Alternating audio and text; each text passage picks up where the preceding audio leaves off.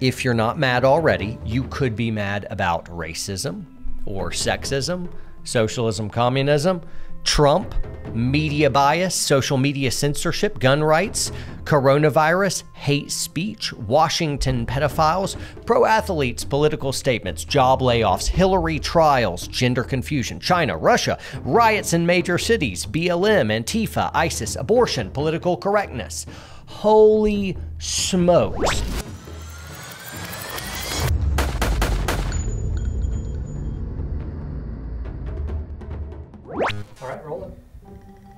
I already said I'm not doing the ad with him up there.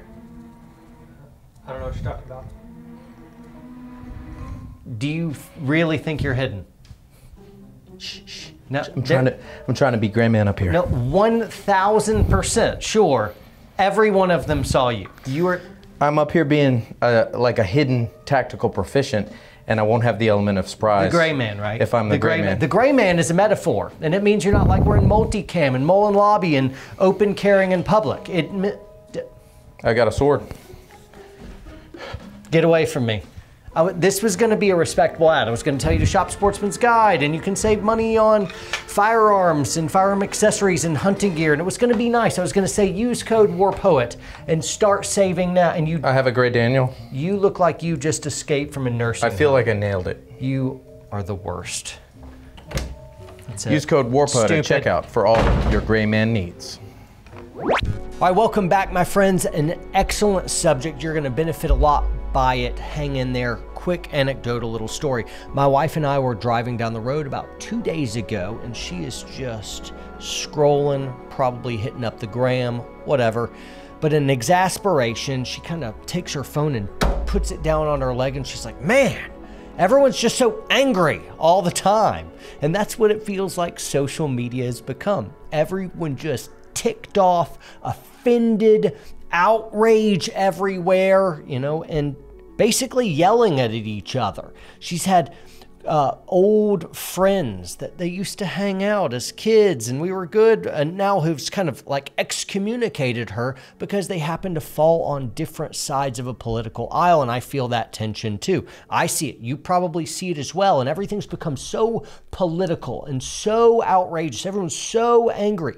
And when we're not angry about something, we're massively depressed when we're looking at everyone else's beautiful poster life that they're posting, you know, for you to compare yourself with, and everyone's just prettier than you, or more athletic, or a better shooter. Ugh.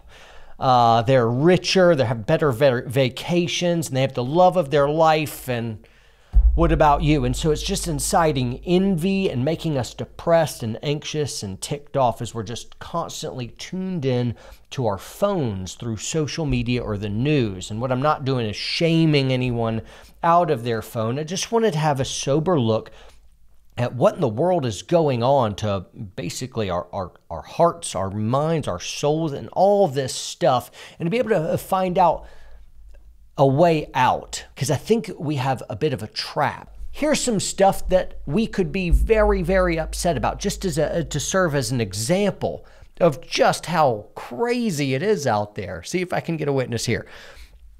If you're not mad already, you could be mad about racism or sexism, socialism, communism, Trump, media bias, social media censorship, gun rights, coronavirus, hate speech, Washington pedophiles, pro athletes, political statements, job layoffs, Hillary trials, gender confusion, China, Russia, riots in major cities, BLM, Antifa, ISIS, abortion, political correctness. Holy smokes. We can't scroll more than just a couple screens without someone weighing in about the tyrant who's doing such and such. And so, just as I'm looking at all this, it just, you feel tightness in your chest and you're outraged. And even now, my heart's beating, you know, fast just reading this list of all these things. Uh, are you able to check out from all this stuff, or are we just so nose down in it all we can't look up? Uh, there's a funny movie, WALL-E. And in WALL-E, great, great movie. There's all these just fat body gelatinous people uh, basically carting themselves around this uh, dystopian future. It's a cartoon movie, fantastic. And they just have all their screens, and every once in a while they bump in and they like kind of wake up and they realize there's a world around them. And I feel like we're kind of WALL-E, where we're just so plugged into this stuff that we are we've become real slaves to our outrage and our anger and our depression. Somebody who really helped me wake up to this recently, just to let just to see how bad I've got this, where I'm I'm struggling with this too. And it happens honestly for me, where I, I start out with a purpose and then before you know it, I've been scrolling for a while.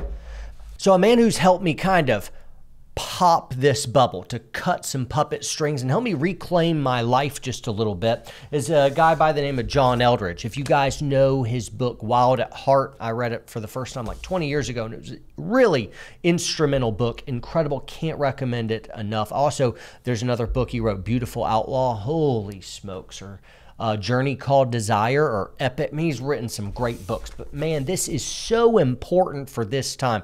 And don't worry, I'm not going to just make this a big book plug or something, but I thought it was a good enough resource that it deserved the title of the video and a strong plug Get Your Life Back. Folks, get your life back. Sure, we will never bow knee to the tyrant, of course, in more of a governmental way, but also let's make sure that we don't become enslaved to all kinds of stupid stuff like debt.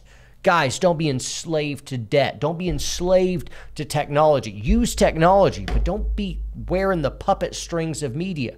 Don't buy into the culture of outrage and offense that's just riddling every person I happen to see out there some sobering words. John Eldredge, in his um, in just the introduction to his book, arrested me with this one line. So, not even to chapter one, and he says, "My soul just can't do life at the speed of smartphones. My soul just can't do life at the speed of smartphones." Phones. And I'm like, man, that's awesome. I had the opportunity to go out and meet John Eldredge at his home recently, and I just interviewed him a bunch of a bunch of that footage is going to be on our streaming service. It's on our War Poet show on our Warrior Poet Society network. Guys, if y'all want to check out the network, it's absolutely incredible material. It's nothing like YouTube. We've rolled out the greatest production quality that I've ever been a part of. It's really, really fun stuff. Anyway, guys, I encourage you to check it out. You will not be disappointed.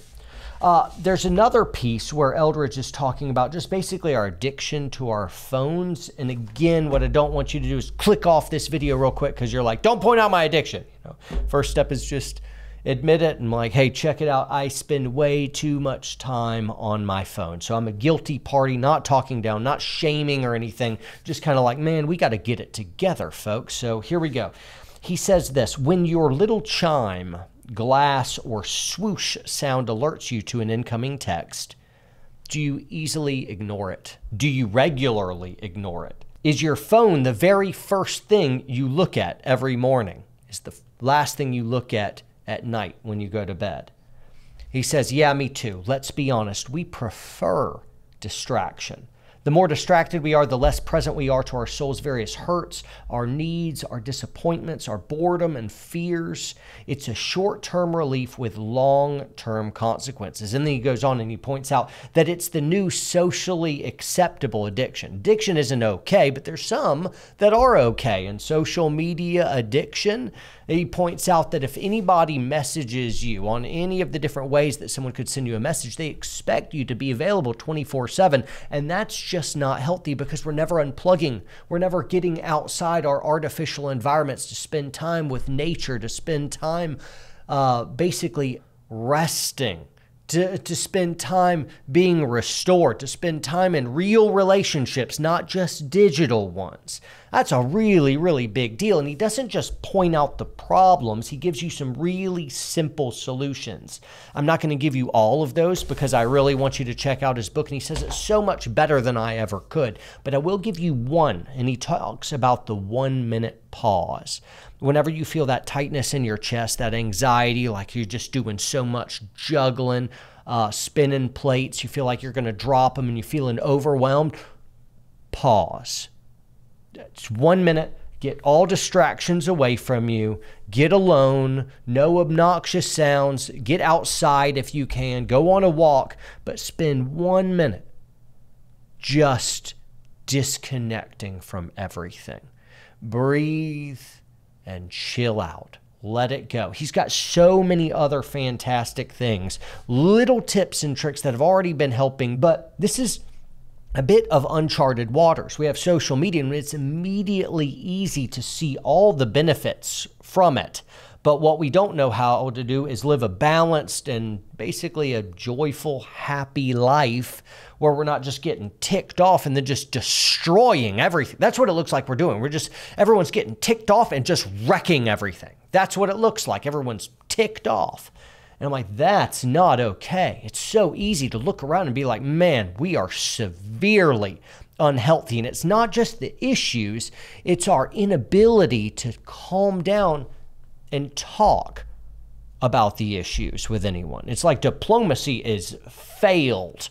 You know, one side's screaming at the other, the other side's screaming back, and now it's kind of like, is it going to come to arms? And that's where we're at. And some of these riots, it already is beatings and murders. It's like, holy smokes, guys, are you kidding me? Do we not have the emotional intelligence to just chill out, listen to a differing point of view, and say, you know what? agree to disagree. Let's chat about it deeper without us freaking out. Uh, and, and basically the cancel culture and whatnot. I've never seen anything like this.